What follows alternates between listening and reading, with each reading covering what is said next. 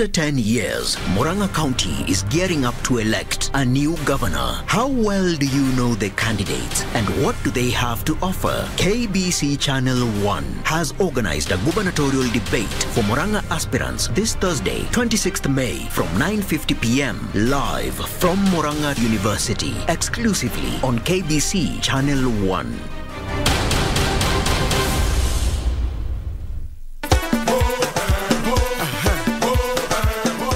Tarehe 28 Mei, barabara zote zinaelekea Harris Tavern, Nairobi. Manake kutakuwa na kongamano kubwa sana la rumba siku hiyo. Kikosi kizima cha Bridge Over Congo kimeandaa tamasha kali sana kwa nyinyi wapenzi wa mziki wa rumba. Oh, yes, there will be lots of fun. Talk of nyama choma, lots of drinks, lots of giveaways from KBC, and not forgetting to mention Rumba music with DJ Walter. Oh, and did I mention that there'll be free t shirts for the first 100 people?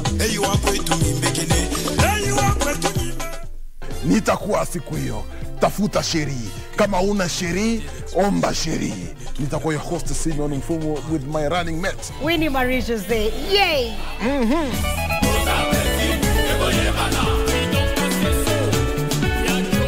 Kupata Yes My Love kama skiza tune yako, dial star 811 star 816 hash. Mutizo, Mutizo, wewe nafanya nini hiyo?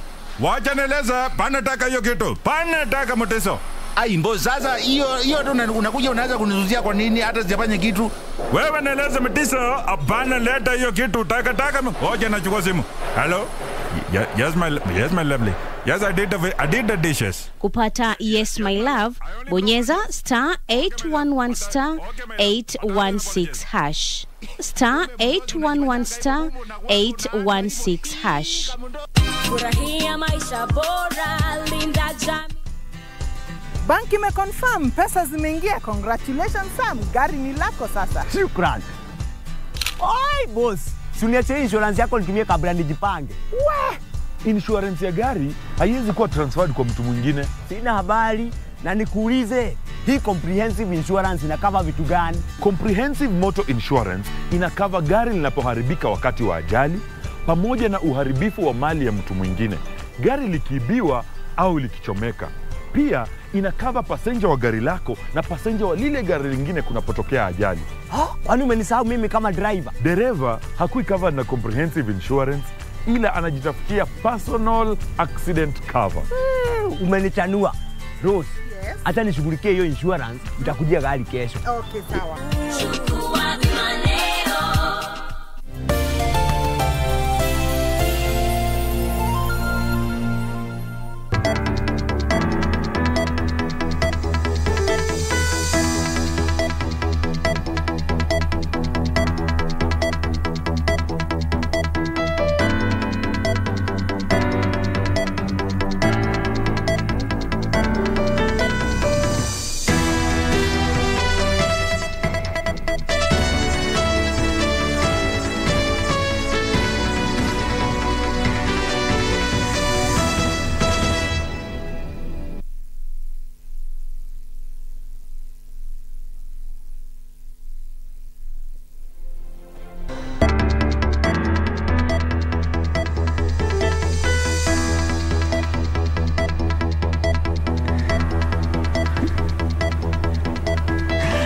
Naam, asalamu alaykum mpenzi mtazamaji, popote pale ulipo, ni matumaini yetu kwamba umeshinda vyema, na kwa wale wakazi wa Nairobi, tunatumai kwamba unaendelea kupambana uh, kama sisi tunavyopambana na kijibaridi kikali ambacho tumekuwa tukikishuhudia uh, hivi jioni. Karibu kwenye taarifa hizi za darubini ya Channel 1. Na bila shaka jioni hii tumekuandalia mengi ikiwemo taarifa kuhusiana na mito ya amani ambayo ilitolewa na viongozi siku ya leo wakati wa siku ya kitaifa ya maombi ya kitaifa.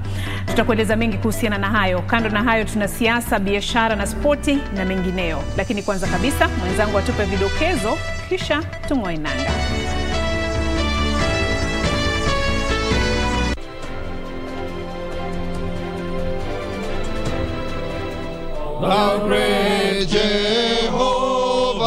Wito wa amani na uvumilivu wa sheheni hafla ya 19 ya maombi ya kitaifa.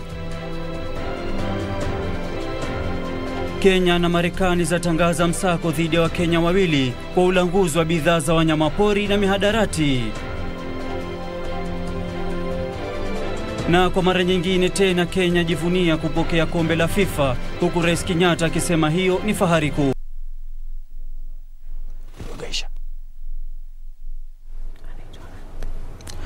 Naam, karibu mtazamaji, tuandamane hadi tamati. Naitwa Ahmed Jumabalo, ukiniita IJB nitaitikia.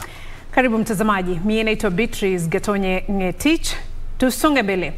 Rais Uhuru Kenyatta ametoa wito kwa Wakenya wote kuwa mabalozi wa amani na umoja wakati huu tunapoelekea kwenye uchaguzi mkuu. Kiongozi wa taifa aliyeongoza taifa katika hafla ya 19 ya maombi ya kitaifa ya kila mwaka jijini Nairobi alisema joto la kisiasa linalozidi kupanda ni hatari na hivyo viongozi wanapasa kujali zaidi maslahi ya wananchi. Naibu Rais William Ruto kwa upande wake aliomba msamaha kutoka kwa rais na Wakenya wote iwapo alikosa kutimiza ipasavyo wajibu wake. Na jinsi anavyoripoti Kamchemenza, miungano muhimu ya kisiasa humu nchini iliahidi kudumisha amani.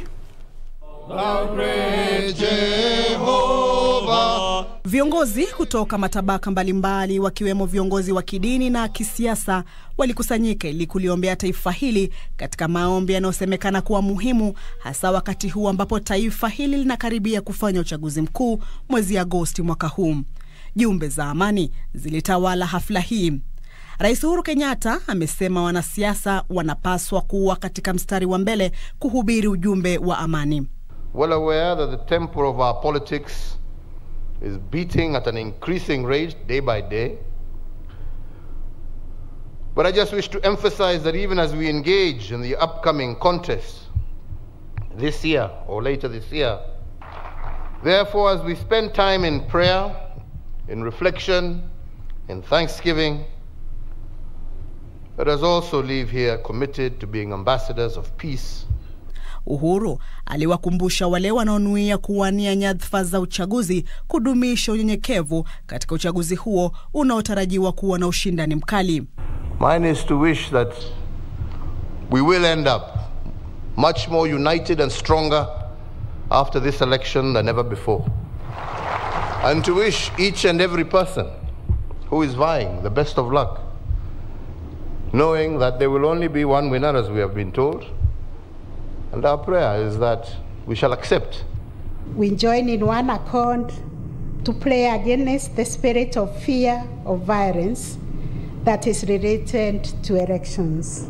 Naibu Rais William Ruto kwa upande wake alitumia fursa hiyo kumwomba msamaha rais na Wakenya kwa jumla. Serving as deputy president, I may have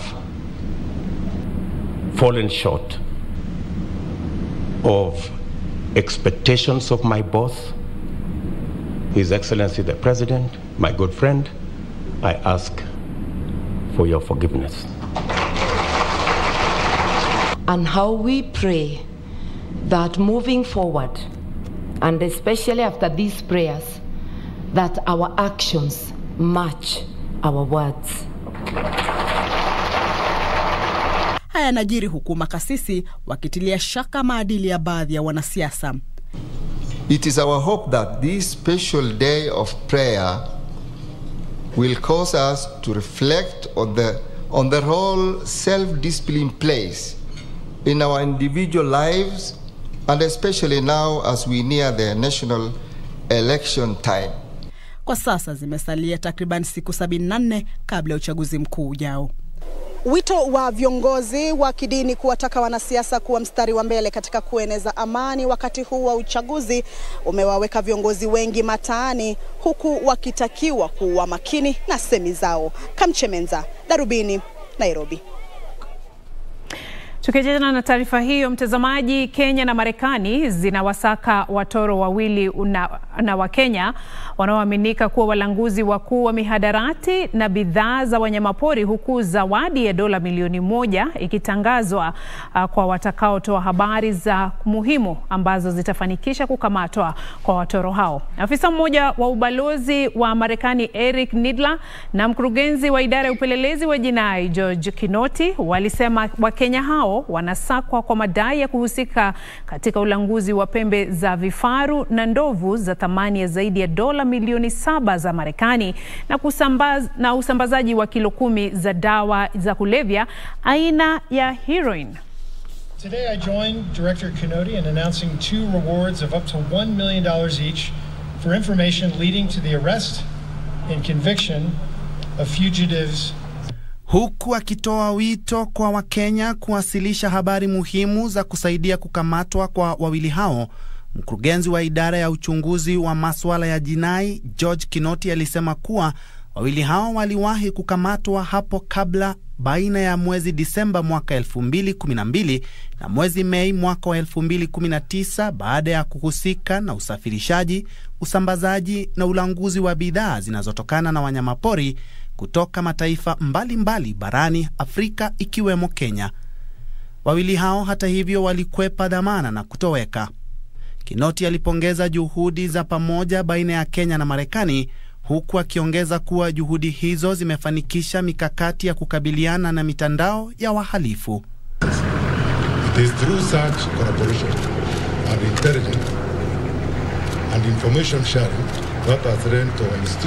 And to effectively disrupt the criminal network. And we are once again supremely grateful for the continued partnership of the government of Kenya to capture and arrest members of these criminal networks. Alitoa wito kwa Wakenya kuwa macho na kuwasilisha habari muhimu kupitia kwa nambari ya bila malipo ya DCI ya 0800 722 203 au 999 au kwa ubalozi wa Marekani jijini Nairobi kupitia kwa nambari 1844 8477. Bentroy Njue, Darubini. Tukiachana hayo, mtazamaji, ni kwamba chama cha wanasheria hapa nchini LSK kimetishia kwenda mahakamani ikiwa jaji mkuu Martha Koome hataondoa mwongozo uliorekebishwa kuhusu kesi za uchaguzi wa urais kupitia rais wake Eric Theuri. Chama hicho kimetoa makataa ya siku saba kwa jaji mkuu kubatilisha kanuni hizo. Siku chache baada ya mahakama ya upeo kuchapisha sheria zilizorekebishwa za kesi za uchaguzi wa urais, chama cha wanasheria hapa nchini LSK kinataka sheria hizo zibatilishwe. Kulingana na sheria hizo zilizorekebishwa baada ya kuanza kusikizwa kwa kesi ya uchaguzi wa urais na mahakama hiyo, walalamishi, mawakili wao au wawakilishi wa mawakili hawatakubaliwa kutoa maoni yao kuhusu au kubashiri uamuzi wa kesi hiyo, ikizingatiwa kwamba mahakama hiyo tayari ilikuwa imetahadharisha kwamba kufanya hivyo ni sawa na kuidharau mahakama. Chama hicho kinasema hatua hiyo huenda ikasababisha hali ya kutoelewana na dhihaka kwa mahakama hiyo. Chama cha LSK kimeongeza kwamba kifungu ambacho upande wowote hauna haki ya kukata rufaa kinawakumbusha enzi iliyopita katika historia ya idara ya mahakama ambayo ni kinyume cha nadharia ya utaratibu wa sasa wa kikatiba. Chama hicho sasa kinaitaka mahakama hiyo kuondoa sheria hizo katika muda wa siku saba zijazo na kuruhusu mashauriano mapana kuhusu swala hilo. Wakati huo huo, uamuzi wa jaji Anthony Murima kwamba hakuna mahakama yoyote nchini Kenya itakubali kusajili na kwa namna yoyote kushughulikia hati zozote za mashtaka ambazo hazijatayarishwa na kutiwa saini na waendesha mashtaka umeibua hisia kali, hasa baada ya ofisi ya mkurugenzi wa mashtaka ya umma kutoa kielezo kitakachotumika. Mwanaharakati Charles Rubia anahoji kuwa kielezo kilichopendekezwa ni kinyume cha sheria kwa vile kinakinzana na matakwa yaliyoainishwa katika kifungu cha 137 cha kanuni za utaratibu wa makosa ya jinai. The ODPP, by signing that charge sheet, they become witnesses. Can a witness again be the person to prosecute? We are therefore calling upon sobriety in the criminal justice system. This issue of, of coming up with guidelines and coming up with documents haphazardly without consulting and without even um, proper due regard to process is going to injure public interest in the long run. Find fault in the manner, in the content first of the proposed uh, template charge sheet that has been proposed by the Office of the Director of Public Prosecutions. And secondly, we also fault it for falling out of form or the required form that is prescribed under the Criminal Procedure Code. Katika ombi lilowasilishwa mahakamani, mwanaharakati huyo amekosea nembo iliyotumika, akiongeza kwamba hapakuwa na ushiriki wa umma katika utayarishaji wake. Sarafina Robi, Darubini. Haya, taarifa yake Sarafina Robi inatutamatishia awamu ya kwanza ya darubini ya Channel 1 huku wengi wakitoa maoni yao kuhusiana na taarifa zetu za leo na kufurahia jinsi viongozi walikuja pamoja na kutoa jumbe za amani na pia kuliombea taifa.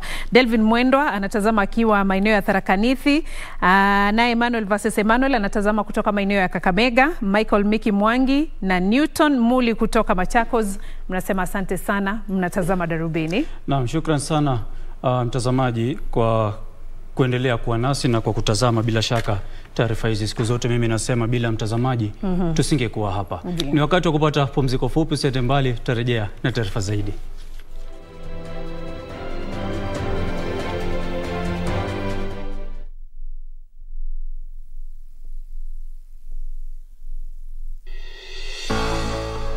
Six partner states, 300 million people, and a combined GDP of more than 240 billion US dollars.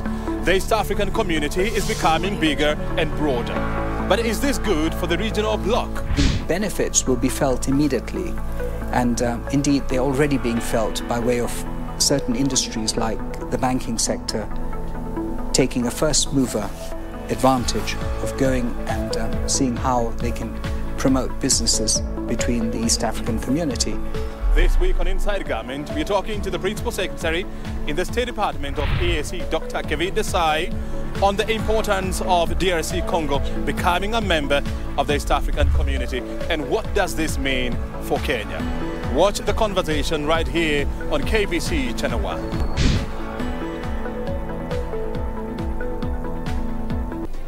Do you have a news story to share with KBC? Get in touch swiftly on email news at kbc.co.ke or call 0723 892 654 or 0734 780 124.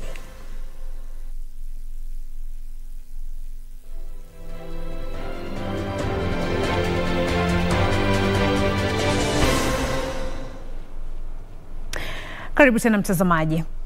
Polisi wameanzisha uchunguzi kuhusu ongezeko la visa vya ukiukaji haki za wajane katika kaunti ya Uasin Gishu. Kamanda wa polisi katika kaunti hiyo Ayub Ali amesema watafanya kila juhudi kuhakikisha wanaotekeleza uovu huo wanafunguliwa mashtaka. Onyo hilo linawadia kufuatia visa vya hivi majuzi dhidi ya wajane ambao mali yao iliharibiwa katika vijiji vya Kapsiro na Seyo, kaunti ya Uasin Gishu. Agnes Mayo ni mkazi wa kijiji cha Kapsirwo katika kaunti ya Uasin Gishu. Agnes ni mjane ambaye alipoteza bwana yake mwezi Machi mwaka wa 2020. Anasema kuwa maisha yalibadilika pakubwa kutokana na mizozo ya kila mara wa kung'ang'ania mali na shemeji zake. walikuwa na nia ya kutotoa hapo ndio tusipate eh, shamba ambayo ilikuwa share ya mume wangu. wakataka hiyo opportunity ya kuwa yeye alikuwa ameaka dunia, wakasema mtatoka hapa kwa sababu hamuna baba, hamuna, you have lost your husband, na hata bado huko mdogo unaweza oleka.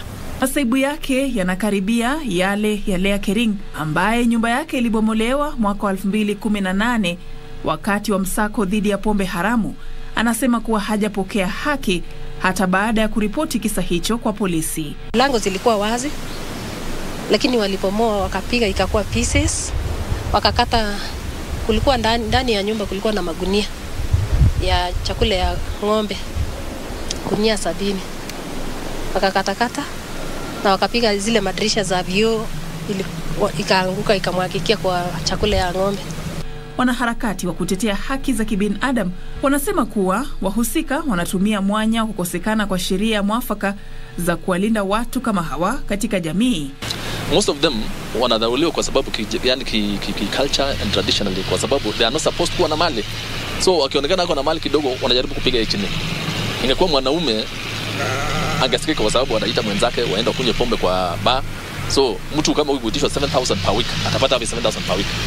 Kamanda wa polisi katika kaunti ya wasingishu Ayub Ali amesema kuwa maafisa wa usalama wameshangazwa na kuongezeka kwa visa kama hivyo na wameweka mikakati mwafaka kila wakati wowote, mtu akiwa na malalamiko, mtu akiwa na shida ambayo unatosha, kama ulienda mahali hukusaidika, wewe kuja na tutaweza ku, resolve hiyo maneno na hata results zitapatikana immediately.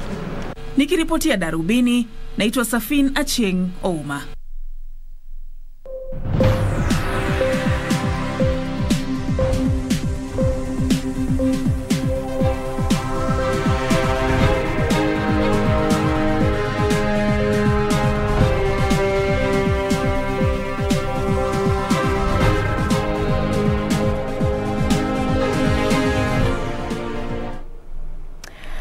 Haya, mtazamaji, tuangazie za biashara kabla ya KD kukuelekeza viwanjani na kisha hapo baadaye tujifunze lugha ishara. Benki ya Cooperative ilipata faida ya shilingi bilioni 5.8 baada ya kulipa ushuru katika miezi mitatu ya kwanza ya mwaka huu, hii ikiwasilisha nyongeza ya faida ya asilimia 65.7. Mkurugenzi mkuu wa benki hiyo Gideon Morioki amesema matokeo hayo yametokana na usimamizi bora na ubunifu. Kwa habari hizo na nyinginezo ni katika mseto wa biashara. Katika kipindi cha miezi mitatu ya kwanza mwaka huu, benki ya Cooperative ilinakili ongezeko la asilimia tisa kwenye mikopo na ruzuku hadi shilingi bilioni 324.5. Mapato kutokana na biashara zisizo za riba yaliongezeka kwa asilimia 41.7 hadi shilingi bilioni 6.4 ilhali mapato jumla yaliongezeka kwa asilimia 17 hadi shilingi bilioni 16.8. Mapato kutokana na riba yaliongezeka kwa asilimia 6 hadi shilingi bilioni 10.4. Aidha, gharama ya utekelezaji biashara ilipungua kwa asilimia tatu hadi shilingi bilioni 9. Faida ya bei hiyo sasa imeongezeka hadi shilingi bilioni 5.8, hilo likiwa ni ongezeko la asilimia 65.7 la ukuaji wa benki hiyo. Wakati huo huo, wataalamu wa masuala ya wafanyikazi wanahimiza utekelezaji wa kazi katika eneo moja ili kupunguza gharama na kuimarisha uzalishaji hali inapoendelea kurejea kama kawaida baada ya janga la korona. Aliyekuwa mwenyekiti wa chama cha wataalamu wa masuala ya wafanyikazi Paul Kasimu amesema athari za janga la korona zinaweza kudhibitiwa kwa kusawazisha mazingira ya kazi, huku wenye biashara wakihimizwa kukumbatia matumizi ya teknolojia katika utekelezaji shughuli zao. Workplace is no longer a place. Work is no longer a place, is a space. Hatimaye, kampuni ya mawasiliano ya Cristel inashirikiana na kampuni ya Pasla ya Ujerumani kubuni mfumo wa kuunganisha programu za kompyuta na teknolojia katika biashara ibuka na biashara ndogo za kadri. Programu hiyo itakadiria utoaji huduma kwa kufanikisha muundo mbinu na kutoa suluhisho kwa haraka. Organizations are now relying more on systems to be able to deliver business. Uh, with with that, there is a need for you to always have your systems up and to always know when they go down or when they are about to go down. So the system in itself is it's like an it's like a helper. Uh, I would say that uh, within the business, not just in terms of IT, but it gets to give you a full view of all your systems. Ushirikiano huu unajiri wakati huu ambapo kuna ongezeko la visa vya uhalifu mitandaoni vinavyolenga biashara.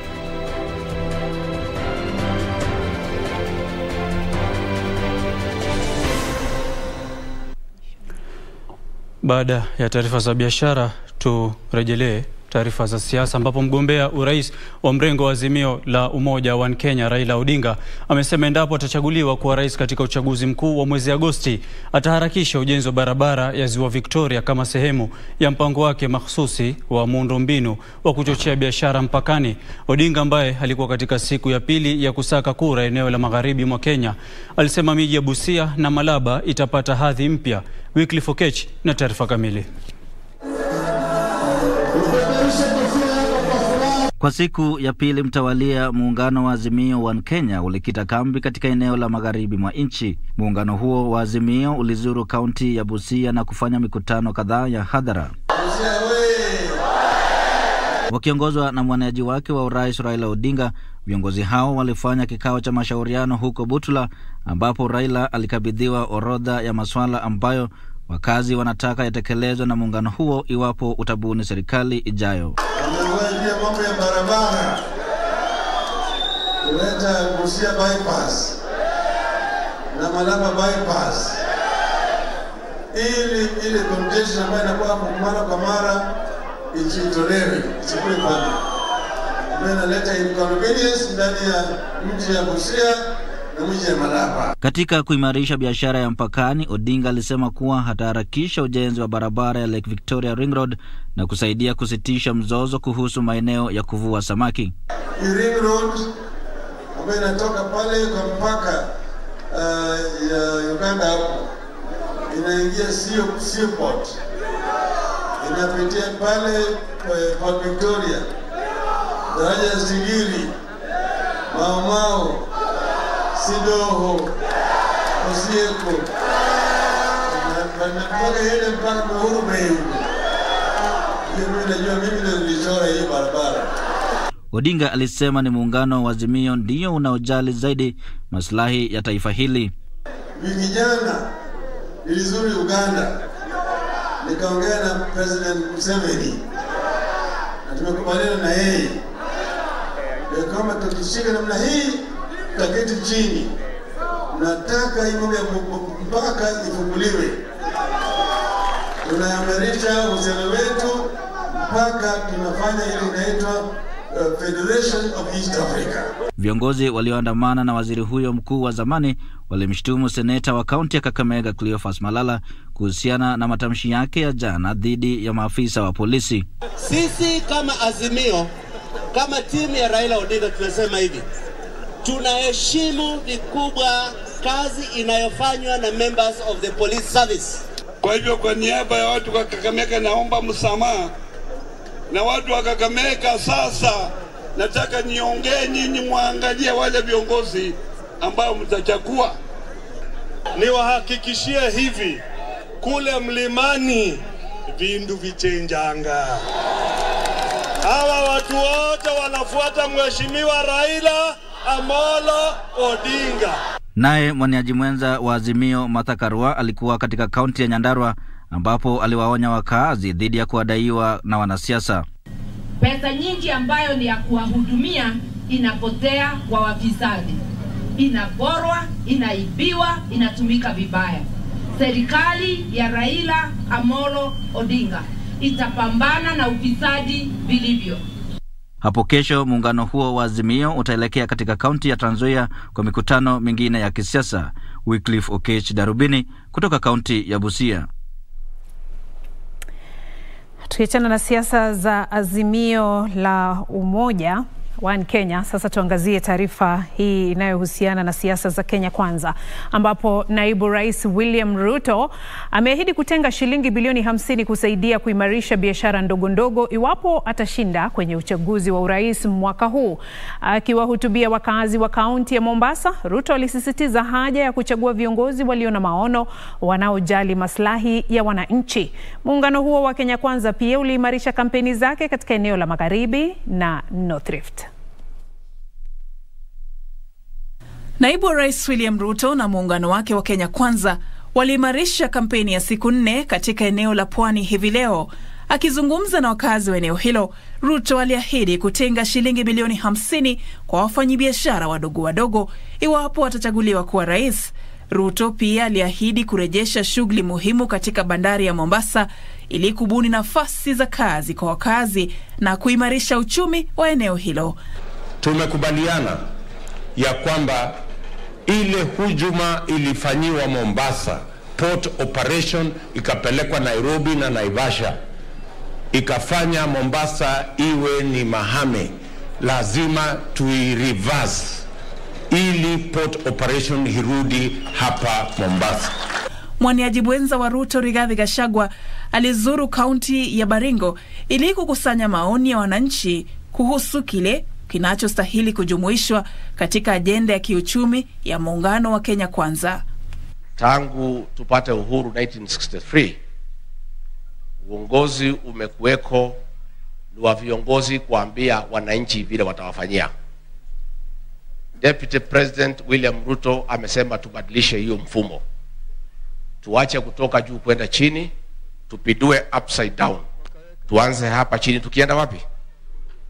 Na ndio tumekuja kujadiliana na nyinyi watu ya Baringo, tujue tegemeo lenu kwa serikali mpya ya Kenya Kwanza ambayo itaongozwa na William Ruto na mimi, watu ya Baringo, mambo yenu ile ya muhimu na ya maana mungetaka serikali mpya itekeleze ni yapi? na kiongozi wa chama cha ANC Musalia Mudavadi aliongoza kampeni za muungano wa Kenya Kwanza katika kaunti ya Vihiga siku moja baada ya muungano wa Azimio la Umoja wa Kenya kuzuru kaunti hiyo. Viongozi hao walihakikishia wapiga kura kuwa serikali ya Kenya Kwanza itashughulikia maslahi na matakwa ya watu wa eneo la magharibi. Mimi nimeweka sahihi kwa niaba ya ANC, yeye ameweka sahihi kwa niaba ya Ford Kenya na William Ruto ameweka kwa niaba ya UDA, alafu zote na wale wengine tumeweka, imekuwa mkataba wa Kenya Kwanza. Tutateremusha bei ya unga, tutateremusha bei ya mafuta, tutateremusha bei ya mbolea, tutaleta pesa mashinani hapa Funyula. Ile pesa tunataka kutenga ya biashara ya kina mama hawataenda Busia, wataipata hapa hapa Busia. Safin Acheng Oma, Darubini.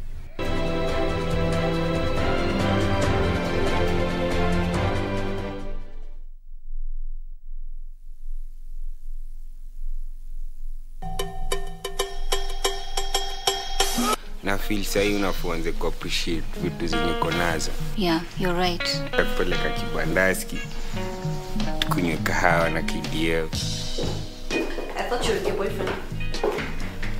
Well, how about you just go see Nick and leave? They say the heart wants what it wants, but you want all the wrong things, honey. Um, hmm. If I were you, I wouldn't get too close to Kathy. thank you for your advice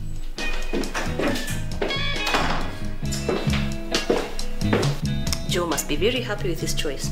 I don't think he had a choice really. Watapatana Unalizia mimi? Utajuju alafu ni aje? Kwani sikupata hera Madam Kathy is in the office. You're not a good fit. Try somewhere else.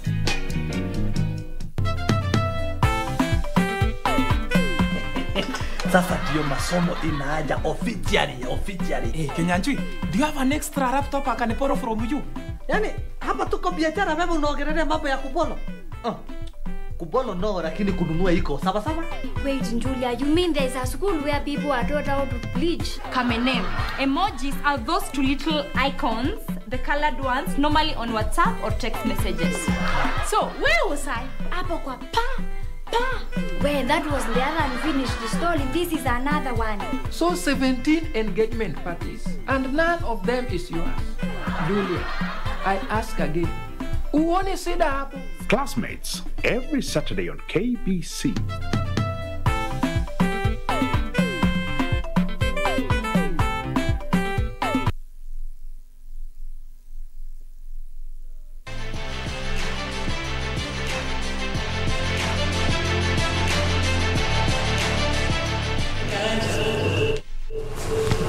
Karibu sasa tuelekee viwanjani. Kama kawaida, wengi wanita Karanja David ama ukipenda KD. Rais Uhuru Kenyatta amesema ziara ya kombe la dunia ni motisha kwa ukuzaji wa soka humu nchini. Akizungumza leo alipopokea kombe hilo katika ikulu ya Nairobi, Rais Kenyatta alisema uzinduzi wa kombe hilo humu nchini utawapa motisha chipukizi ili waendeleze taaluma zao za soka. Aidha, Rais Kenyatta alisema serikali itaendelea kuwekeza zaidi ili kuimarisha matumaini ya Kenya ya kufuzu kwa kombe la dunia na vilevile vile kunyakua kombe hilo. Rais Kenyatta alisema kuwa ni fursa nzuri na heshima kubwa kwa Kenya kuwa sehemu ya ziara ya kombe la dunia la FIFA mwaka 2022. Rais pia aliahidi kuendelea kufanya uwekezaji unaohitajika kama sehemu ya juhudi ya kuongeza nafasi za Kenya za kufuzu na kutoa kombe la dunia. and to recognize that the presence of the World Cup trophy here in Kenya, now for the fourth time, is without doubt an inspiration to our football fraternity and our youth in particular, giving them an objective to achieve greater football success so that football's top prize may one day hopefully be added to Kenya's trophy collection. Makamu wa rais wa Coca-Cola Afrika Mashariki na Kati, Debra Maloa, alisema kuwa Kenya ni mojawapo ya nchi tisa zilizochaguliwa kushiriki katika ziara ya msimu huu ya kombe la dunia la FIFA. Kabla ya uzinduzi wa kombe hilo la dunia, Rais Kenyatta alishuhudia mechi mbili za maonyesho. Katika mechi ya kwanza, magwiji wa zamani wa Harambee Stars wakiongozwa na nahodha Musa Otieno waliwashinda Coca-Cola FC bao moja kwa sifuri huku Wasafi FC wakitoka sare ya bao moja kwa moja na State House Academy.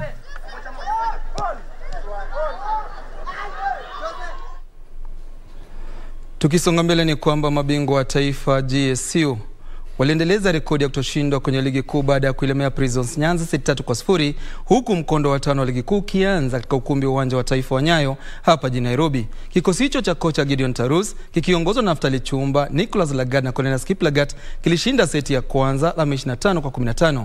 Prisons Nyanza ilijitahidi vilivyo kwenye seti ya pili lakini ikashindwa alama 19 kwa 25. Aidha, GSU ilishinda seti ya tatu alama 25 kwa 22 na kunyakua alama zote. Kwenye mechi nyingine Equity Bank ilishinda Prisons Rift Valley seti tatu kwa sifuri huku KPA ikiilemea Mombasa Prisons kwa seti sawa na hizo. Timu 16 kutoka kaunti saba zinashiriki kwenye michuano hiyo.